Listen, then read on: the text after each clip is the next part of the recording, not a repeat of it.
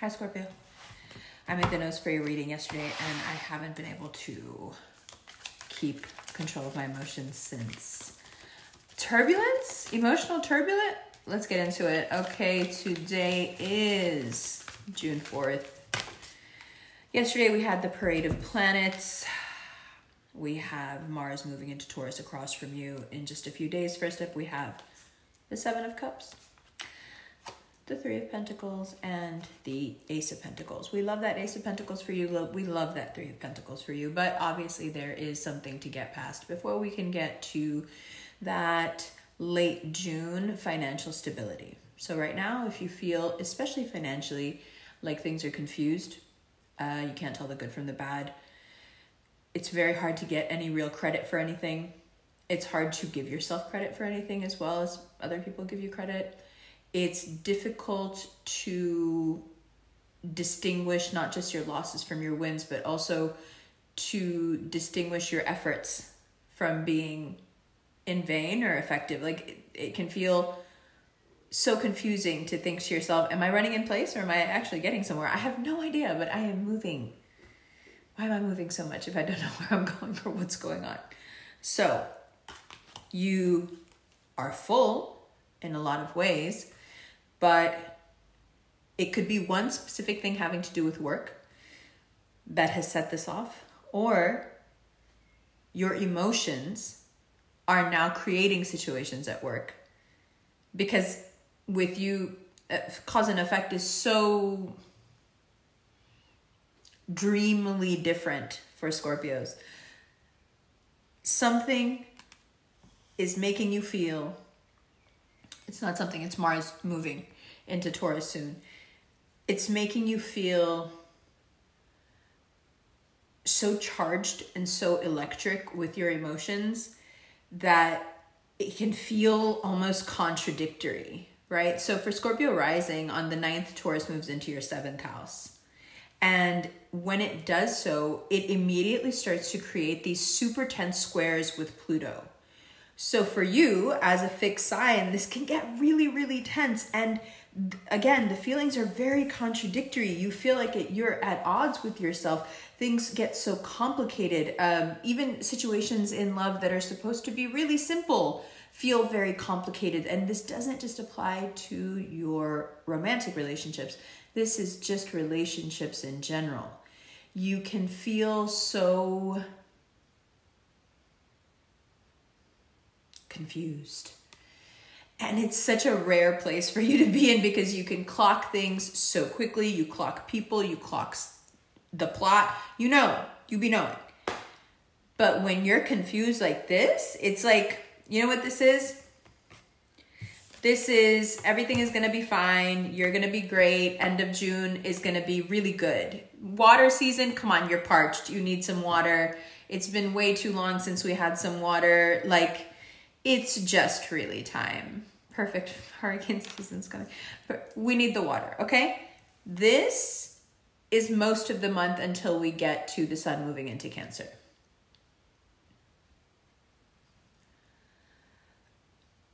Your intuition is off. You know how once a year we have to have this talk where like there's a little bit of time every year where your intuition just goes, okay, bye. And I don't think you realize it until that button is pressed and that that superpower turns off how much you rely on it in your day to day there are people there are other signs who have this ability but they don't rely on it the way you rely on it. You you do everything by this ability right? So when it's off your intuition's not working. You may still think that you know what's going on but you don't. So the best thing that you can do for yourself when you're in a situation where your most powerful ability. The thing that you use to navigate your life is just on vacation. It's re it's downloading updates whatever you want to call it is to rely on the people around you that are extremely stable and people you have in your life specifically because you trust their business acumen you trust how they deal with other people in their life. You you find these people to be very respectable and solid and you have a lot of respect for them. So when you can admit to yourself, whenever you get there in June, probably around the 9th, where you are where I am now, where I'm like, why the fuck have I been crying all day? What is going on? Your energy is so heavy, it's so strong, it's so confused, it's so contradictory. Like anyone who comes near it is feeling the way I feel. I made these notes yesterday, and there's one, two, three, four, five, six, seven. So I made the notes and I had every intention of doing like a fireplace evening video for you guys. And as soon as I got done doing the notes, I just felt so emotional and I haven't been able to kick it since. I mean, listen, the emotions really helped me. I had a few talks that I really absolutely needed to have. And please do not think it's lost on me that every one of those conversations had a very Scorpio edge. And what do I mean by Scorpio edge? I mean, your the way you communicate is so real and you try to communicate past your wounds and past other people's wounds. You try to have conversations and you try to communicate ideas without getting stuck in the muck because you are the muck. You know where the muck is. You are the bog that everything can get stuck in. So, like, you have learned how to communicate in a way that may seem to to to a straighter edge like a like a Sagittarius it may seem like it's like you're circumventing something you're not. It's a way to talk where you leave all your pain and your wounding behind and you can actually get to the point of things. And sometimes the way that translates to the person you're speaking to if you don't go out of your way to be really sugary and nice is that they feel you have hit them right in their weakest spot. But it's not because you're trying to hit them in their weakest spot. You're just trying to get around all the bullshit that people do to hide what's hurting them. It's like you can just see it and you're like, I don't want to talk about that. I don't want to talk about that. I don't want to talk about that. I don't want to talk about that. You're doing a good enough job, you know, ignoring that shit all on your own. I don't need to bring any of that up. How how about we just talk about this? And when you're direct this way, usually the person who has all these facades going and all these balls up in there because that's how they lie to themselves, that's how they keep themselves from being introspective. They're just flabbergasted how you didn't fall for any of those different distractions and you came straight for them. But you're not trying to come. My mom called. She wanted to talk about herself. for a little while. I think she's happier now. Okay, all right. Complicated situations in love and family. How come your family and your loved ones don't approve of what's going on and what you're doing? What is it that they don't approve of exactly? Why do you feel so left out? Well, part of it is astrological. I think it's also there's such a like funny kind of spirit that you have in you where I think you also kind of create these situations because you really like change, but you're a fixed sign and you're really stubborn. So you don't love change, but you still like it. And it's it's like getting a tattoo. It like hurts, but you like it. Um, so actually, I think this is why Gemini's and Scorpios can actually fuck with each other so heavy is because you, you you can fuck with change. You actually fuck with very, very, very deep change, right? So on the surface, you could be very fixed, very rigid, but the death card is deep, deep, deep fundamental change. So you're craving, you know, sure, on one level, surface, you know, superficial level of viewing what's going on in your life, you may feel like, oh, people don't approve. People are, you know, giving me so much pushback. The people who are supposed to be my support system, people I love, are the ones who are upsetting me. Why? Why is this happening? I am confusion my son and I actually have a song from the first time I got a Mac computer, like years ago when he was like two years old or something. And we made a song called Apple Confusion because we were trying to figure out how to work the program, but it was recording the whole time and we were fucking with the music and the end. It's called Apple Confusion. And it's so good. Anyway, you are confusion. But really, are you? Are you really confusion? because I think you crave change quite often. And I think part of the way that you create that change um, is like you you develop this awareness that you're ready for change, but you're too fixed to like do anything about it. So your energy starts to create these strange situations between you and your loved ones that will prompt this change to happen. Does that make sense? But it's lucky. It's good. It may again, it may be uncomfortable, it may hurt a little, but it's it's good.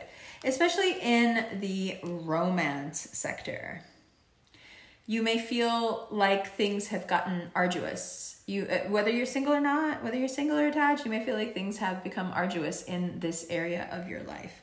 Now, let me explain to you why all of these wonderful feelings, this very hectic, confusing mix that's like money and luck and connection and sadness and confusion all of this why, why does it happen this way? Why does june play out this way? Well it's very simple. Between the 3rd and the 17th we have mercury in gemini. Until the 17th of june we have venus in gemini. Until the 20th of june we have the sun in gemini. And until june 2025 we have jupiter in gemini so what this is going to do is that all of that is going to square Saturn and square Neptune. When these planets square Saturn, that's a stress test. The stability of everything is tested. So that means everything shakes. Right now, you're in the shaking already. Right now, first card out, first card out. I am Apple confusion. I don't know why I feel the way I feel. I can't stop feeling it. Like I know what I feel, but I can't explain this. Why? Why? Why is all this happening? All those planets in Gemini squaring Saturn. Stress test. Can you take all this luck and all this change that's coming for you, that's written for you? Can you? Let's get your body in order. Let's get your psyche up for this. The stability of your romantic connections is also tested by Saturn. Saturn says, Do you have what it takes to make it this far? Will you be commissioning pieces of, pieces of art together after you've been married for 20 years and having like a grand time at some artist studio? Do you have that kind of staying power? in your relationship. So that's fun. Getting the fundamentals of your relationship tested to that degree. Are you really serious or just kind of serious? Okay.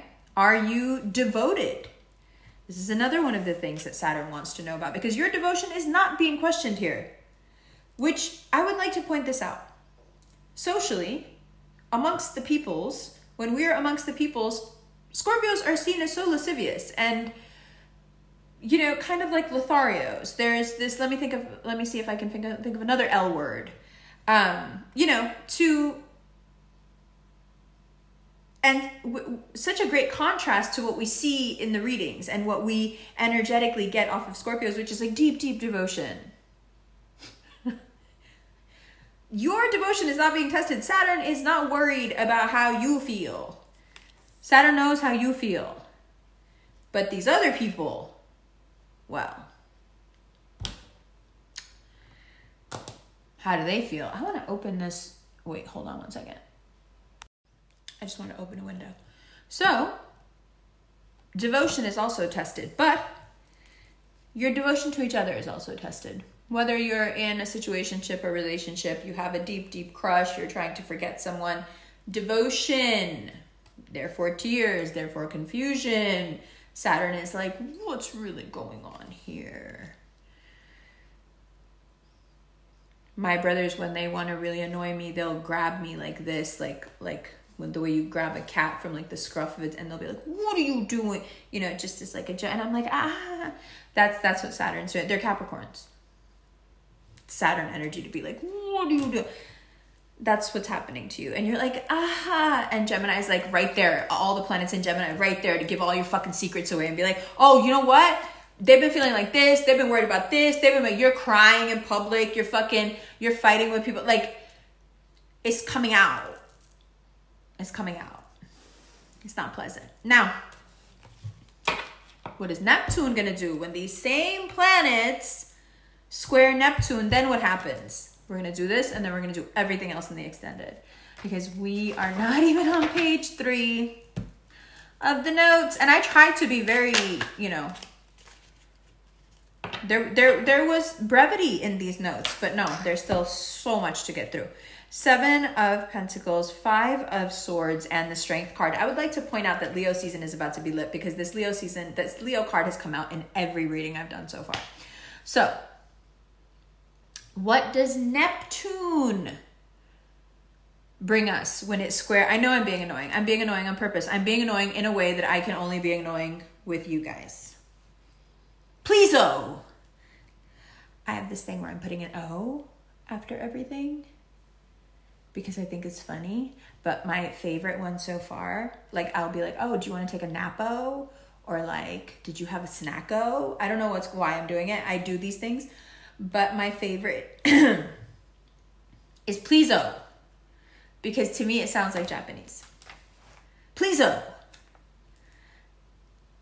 I'm sorry, that's so funny to me.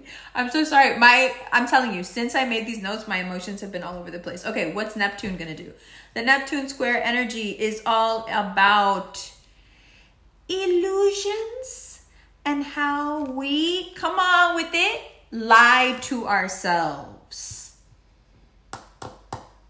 Illusions, confusions, lying to yourself, idealism, excessive misunderstandings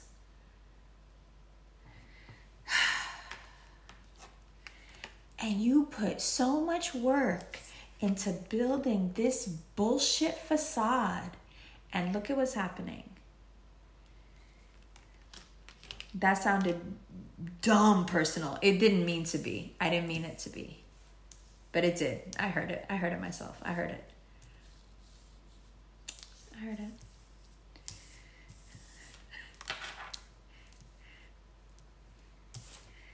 anyone who's an actor who's watching is like, I heard that. yes, that I'm just, but I'm, but what I'm saying is true. So it doesn't matter. The truth is creeping into the light. Okay. Now, here's the real rub. And I would like to do this in the extended. Okay, okay, we'll do it in the extended preview. That's why I can talk to you with the cards in front of me because this is the thing I want to talk to you about before we go. Everything that you find out right now everything that these squares tell you, how come you already knew? How come this seven of cups at the beginning, how come us right now being like, I don't know, I don't know, I don't know why I feel the way I feel. No, you know exactly why you feel the way you feel. You know exactly what's going to happen if such and such situation is stress tested. You know exactly who can measure up and who doesn't. You always knew the limitations of the people you were dealing with. You always knew. None of the none of the limitations of the people in your life, your partnerships, your romantic partners, your families, your friendships, none of their limitations and how they're being exposed to now are new to you. None of these levels that you're reading is making you like gasp and clutch your pearls. No, no, no. But and yet you are confused. No, you're not. We may be acting confused, but I think the word we're looking for is disappointed. Let's look at these cards so we can talk about it more. I love you. Uh, in the extended, past the preview, where we're going to talk more about this and sabotaging yourself, that's what the preview is about. In the extended, we're going to talk about career and money and how these squares, and we'll go through how each of these squares affects career and money. And we're going to talk about Mercury in the eighth house in that Gemini issue area. Then we're going to talk about what happens with finances after the 26th. Then we're going to talk about mental health. Then we're going to talk about physical health. And then we're going to talk about what happens just in general in Cancer season. So late June. Okay, that's in the extended. I'll see you in the preview right now. I love you. Mwah. I think this is good for me. I feel like I'm going to be less emotional now. Hi, Scorpio. Welcome to my kitchen counter. Okay. let's talk about limitations. One of the unfortunate, and welcome to all those watching the preview after the general. Hi, this is what we do in the extended. One of the themes of this month, but I think it extends to most of the summer, unfortunately, is disillusionment. But for most of you, that truth that's creeping into the light, you may feign surprise, but you're not surprised. I think you're keenly aware of people's limitations, especially people you're intimately involved with. I think you're very good at judging people's value, actually. Like I said before, you can get right to the heart of things. So, whether your partner is, was, used to be a Gemini or not, you have a very clear read on their value. For a lot of you, you know that they have a lot of value. And for some of you, perhaps maybe because you're seeing yourself more and more clearly, not that it's a competition, more like a battle, but they don't seem to be measuring up. On your side of things, you see so much value. And you're wondering to yourself, what did I, why am I, why did I do this? Why does this now, after the fact, with all these truths coming out, why does this seem like self sabotage? I knew that this person had limitations. I knew that this situation had limitations. Why did I hide that from myself? And it reveals something much deeper, much more important than any one person in your life. And that is the tendency you have, despite knowing exactly what the fuck is going on, to lie to yourself, to convince yourself Really, you're very convincing that the thing you see so clearly is not there. And so, yes, you can on a surface level read Scorpio, especially Scorpio risings, having a time of disillusionment, sure. But I think that's just not giving you enough credit. I think that your intuition may be very off right now, but it gives you this kind of break where you can be a little bit human and see some very human mistakes that you're making because baby we we all lie to ourselves. You aren't privy to the lies you tell yourself most of the time so welcome. But don't feel bad. Don't be ashamed. Don't beat yourself up about it. We all do it. You know, don't go at yourself for this. This is not, this is not an excuse for you to treat yourself now like you're weak and then inflict on yourself what you inflict on others when you think they're weak. Mm. Don't do that stuff to yourself. Don't be don't realize what the fuck is up and then turn it on yourself and make it your fault. Okay, so you feigned ignorance. Okay, on some deep level, you lied to yourself about this person or this situation's capabilities. Got it. Cool. That's okay. But finding grace in that for yourself and finding some peace and having made some mistakes and now dealing with the consequences or the realities of the things you kept from yourself, it doesn't have to be more than that. It doesn't have to be a time of great persecution of self. It can just be aha moments. It can be a series of epiphanies like, oh, so this is what was really going on. I kind of knew that was coming. Okay, not so surprised about that. All right, you know, you can have a good old time being a know it all about this if you want to. Who's going to stop you? The point is, find a positive way of dealing with the fact that there are so many misunderstandings around you. There's so much confusion. There's so much illusion. I mean, listen, this whole dying to oneself thing is your game. You know, Mars moves into Taurus, which we're about to talk about. Um, and it's your game. You know how to rise from the ashes. This is not you turning to ash and rising. You've you've you've done all that. These are different aspects of your life now, falling to ashes and rising back up. And you don't have to play as active in a role in this as you think you do. Just understanding that you don't know everything right now and being more of a more of an observer in your life for the next few months is a really good idea. Because as you know, people just can't wait to tell on themselves in Gemini season. Now, there's a lot of positives here. A lot of people you'll realize have way more value, perhaps, than you were actively letting yourself acknowledge. But there is disappointment here as well. There is deep emotional deep emotion here that has nothing to do with the revelations and the people either. It has to do with you. Mars is working on you as well, just you internally. And it's tumultuous and it's not scary, but it's unnerving. You know, it can make you feel jumpy. Like, what are the things that you can do that soothe, that, that give you that feeling of, no, everything's still okay? That's what you should focus on as you come to terms with how unsurprised you are at the self sabotage. that's a really long seven minute way of saying you did this to yourself and it's okay. That's all right.